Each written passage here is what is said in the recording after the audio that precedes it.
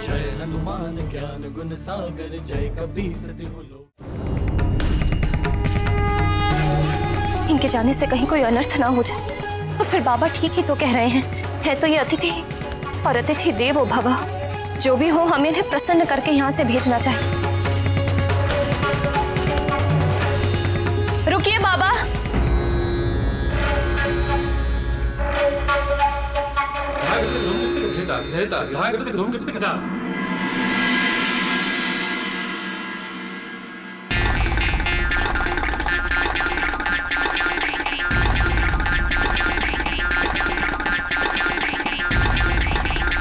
बाबा पहले हाथ तो धो लीजिए। हाथ क्या धोना? मैं तो कभी मुँह भी नहीं धोता। लाओ भोजन लाओ। आइए आप यहाँ बैठिए।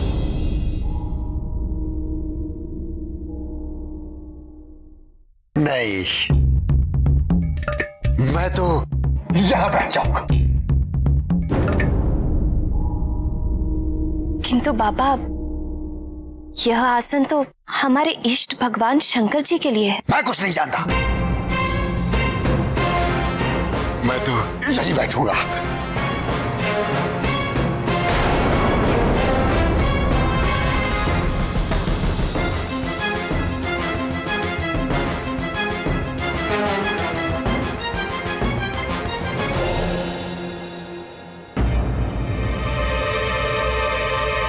खड़े खड़े एक दूसरे का मुँह क्या देख रहे हो? लाओ, मेरे लिए भोजन परोसो।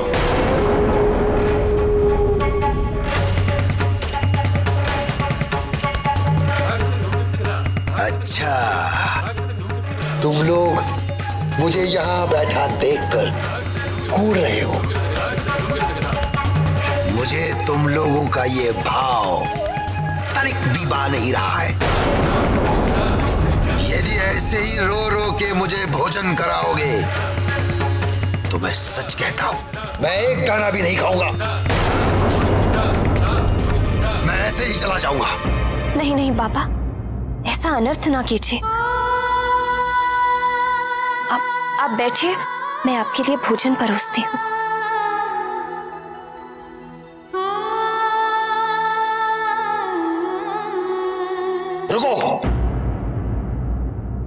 अब क्या हुआ बाबा? मुझे हाथ धोने की शिक्षा दे रही थी। और स्वयं बिना हाथ धोए ही मेरा भोजन परोस रही हो। किंतु बाबा मेरे हाथ तो शुद्ध हैं। और फिर आपने ही तो कहा तेरा मेरा क्या मेल है? मैं तो भिखारी हूँ। तो है। तुझे तो शुद्ध अशुद्ध का विचार करना चाहिए। जाओ मेरे हाथ धो कर आओ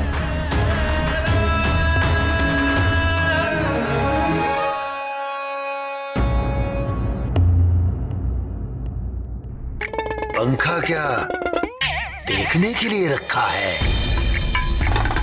बाजू में बल नहीं है। पंखा चलाओ।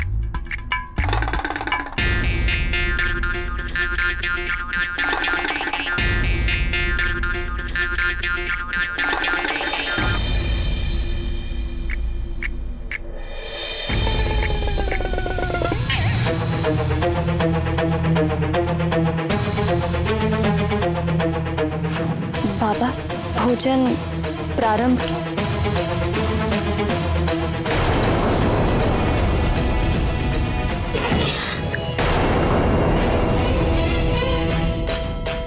पूरी कैसे पकाई है। आधी कच्ची आधी चली हुई।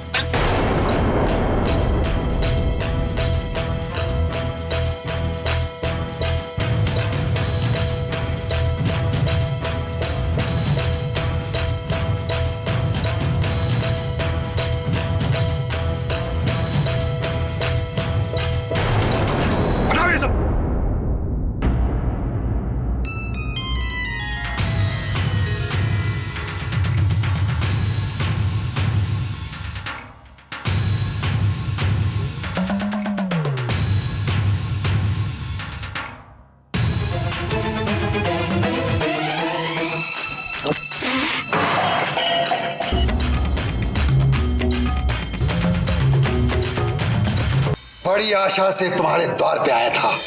कि बरसों पश्चात एक अच्छा भोजन करने को मिलेगा। तुम दोनों ने गुड़ गोबर कर दिया।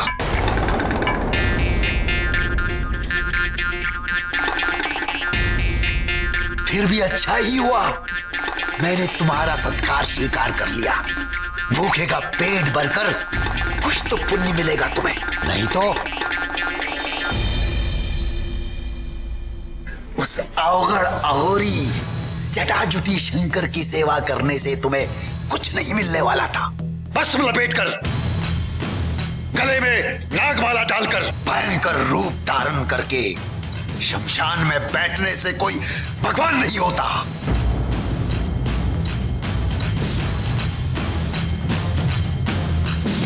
अरे, वो तो लोगों को डरा धमकाकर भगवान बन बैठा है इष्ट बनाना ही है। इससे पूछो। मैं तुम्हें बताता हूँ।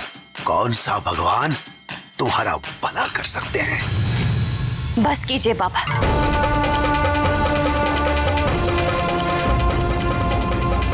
आप हमारे अतिथि हैं।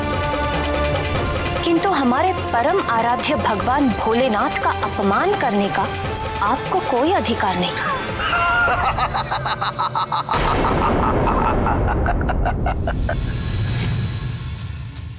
इसमें अपमान क्या है बालिकी? जो सत्य है, वो सत्य है। क्या शंकर शमशान में नहीं रहता? क्या वो भस्म लगाकर नहीं घूमता? क्या वो जटाजुटी अघोरी नहीं है? हाँ रहते हैं वो शमशान में। हाँ लगाते हैं भस्म। किंतु जहाँ अपने भी साथ छोड़ देते हैं उस शमशान में रहकर वो जीवों को शरण देते हैं और भस्म लगाते हैं उन्हें जीवन की व्यर्थता का उपदेश देने के लिए। और जिन जटाओं का आप इतना अपमान कर रहे हैं, ये मत भूलिए कि उन्हीं जटाओं में माँ गंगे भी निवास करती हैं। उन्हीं जटाओं की महिमा है कि माँ गंगा समस्त जीवों के लिए कल्याणकारी रूप में रहती हैं। नहीं तो जिस प्रचंड वेग से वे स्वर्ग से उतरी थी, यदि भगवान जटाशंकर ने उन्हें अपनी जटाओं में ना घेरा होता तो वे अपने वेग से सब कुछ बहाकर नष्ट कर देते। और अघोरी? अघोरी का अर्थ समझते हैं आप? घोर का अर्थ होता है क्रूर। और अघोर, अर्थात जिसमें कोई क्रूरता ना हो। जो घोर पापियों के प्रति भी करुणा की दृष्टि से देखते हैं। ऐसे हैं मेरे भगवान भोले शंकर।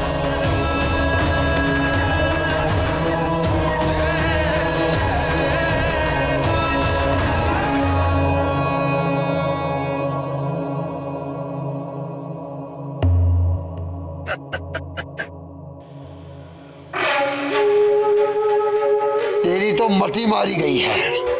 वो भूतनाथ नागधिराज। वो विशेला है विशेला अभी तो नागू का साथी है। आपको विशैले समझ आते हैं? तो हाँ मेरे भगवान भुजंग भूषण विशेले हैं। क्योंकि अमृत मंथन के समय जो कालकूट विष निकला था, जिसे देखते ही सब देवता हाहाकार करते भाग खड़े हुए थे। उस भयंकर कालकूट विष को अपने कंठ में धारण करके मेरे भगवान नीलकंठ देवताओं को अमृत देने वाले हैं। अरे वो तो इतने शांत अहिंसक और परोपकारी हैं कि नाग जैसे विषैले जीव भी उनके पास आकर अपना डसने का स्वभाव भूल जाते हैं। तुम्हारे जैसे अंधभक्त। बस। अब यदि आपने मेरे भगवान भोले शंकर के विरुद्ध एक शब्द भी बोला तो तो? तो क्या करोगी अंजना?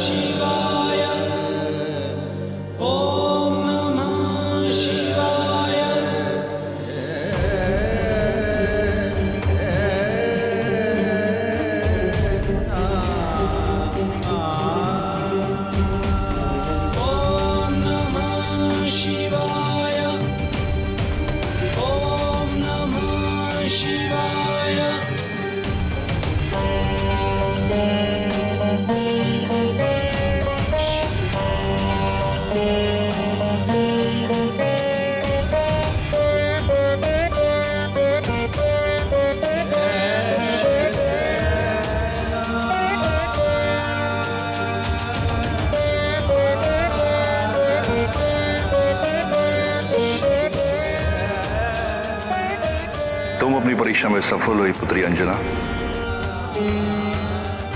मैं तुम्हारी भक्ति और तपस्या से अति प्रसन्न।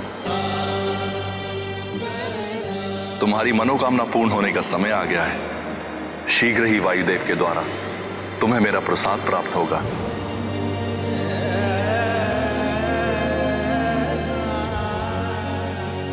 उसे अपने पति वीर केसरी के हाथों स्वीकार करना।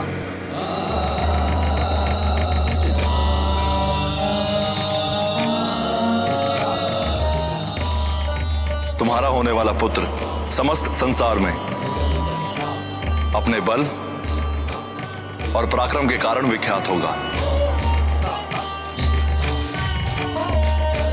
परम भक्त होगा। और परम ज्ञानी भी। कल्याण हो।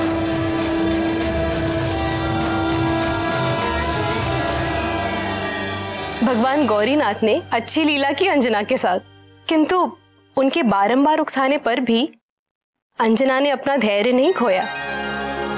निश्चित ही ये उसकी तपस्या का ही प्रभाव था कि वो भगवान शूलपाणी की परीक्षा में खरी उतरी। वेदों में गृहस्थ के लिए पाँच प्रकार के जिन नित्य यज्ञों का विधान है, उसमें ब्रह्म यज्ञ देव यज्ञ पितृयज्ञ और भूत यज्ञ के साथ अतिथि सत्कार रूपी मनुष्य यज्ञ भी प्रतिदिन करने का आदेश दिया गया है। जिस द्वार से अतिथि असंतुष्ट होकर जाता है, उस घर में समृद्धि नहीं रहती और जहाँ सम्मान के साथ अतिथि की तृप्ति की जाती है। वहाँ सुख संपत्ति का वास सदा बना रहता है। और जो ये जानते हैं, वो अंजना के समान अतिथि सत्कार में कोई चूक नहीं करते। हर प्राणी के द्वार पर उसके भगवान अतिथि रूप में एक बार अवश्य जाते हैं। और उचित सम्मान होने पर उस घर की सात पीढ़ियाँ दरिद्रता का मुख नहीं देखती। तो फिर महादेव ने वायुदेव से कैसा प्रसाद भिजवाया? हे पवन देव हम आपका आह्वान करते हैं सृष्टि कल्याण के प्रायोजन के लिए। आप अपना सहयोग दें और हमारे सम्मुख प्रकट हो।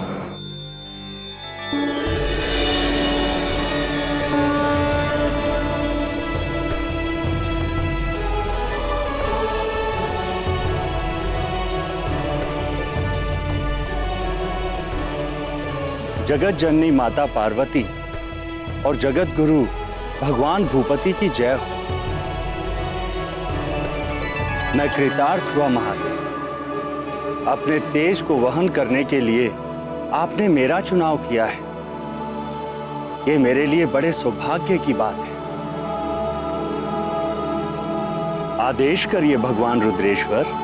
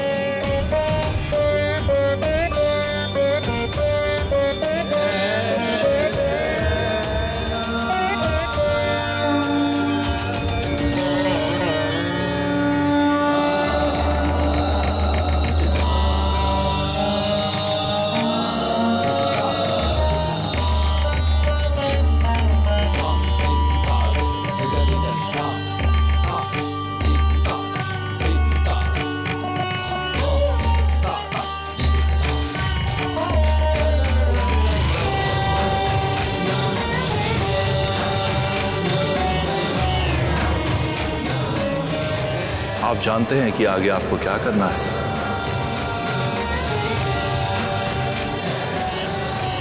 कल्याण।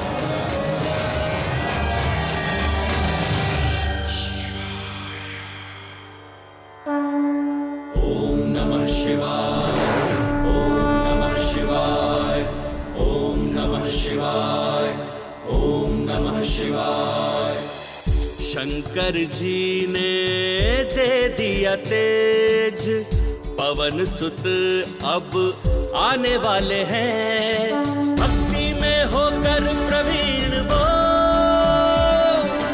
मग्न राम गुण गाने वाले हैं। जटाधारी शिव शंकर शंभो महादेव शिव शंकर शंभो जटाधारी शिव शंकर शंभो महादेव शिव शंकर शंभो। देवों का सब करेंगे काज, नष्ट करेंगे बाप का राज। विष्णु वचन की रखने लाज, ले रहे हैं अवतार आज। अन्यायी दल में भय का हाहाकार मचाने वाले हैं। मचाने वाले हैं। शंकर जी ने दे दिया तेज, पवन सुत अब आने वाले हैं।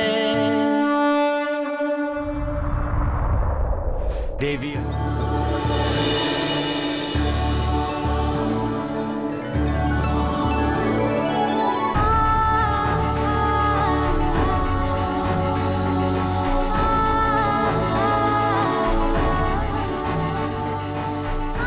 प्रिय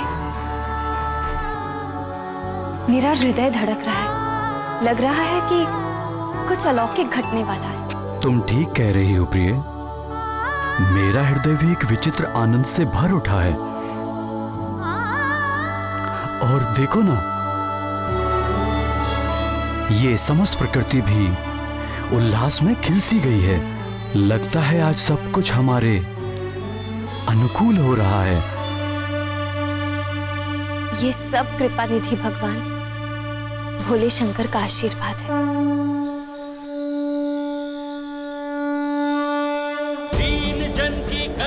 रक्षा बनेगी सूर्य की कक्षा। भगत जगत के लेंगे शिक्षा, बल विद्या की देंगे भिक्षा। बलिदान प्रेम बैराग के नव आदर्श बनाने वाले हैं। बनाने वाले हैं। शंकर जी ने दे दिया तेज देवी अंजना पवन सुत वनराज केसरी मैं पवन देव हूँ। भूत भवन भगवान शंकर और माता भवानी का संदेश लेकर आपके पास आया हूँ। वे दोनों आपकी श्रद्धा और तपस्या से अति प्रसन्न हैं। और उन्होंने अपने आशीर्वाद के रूप में ये प्रसाद भेजा है। हे वानर राज देवी अंजना के लिए इस फल को आप ग्रहण करें।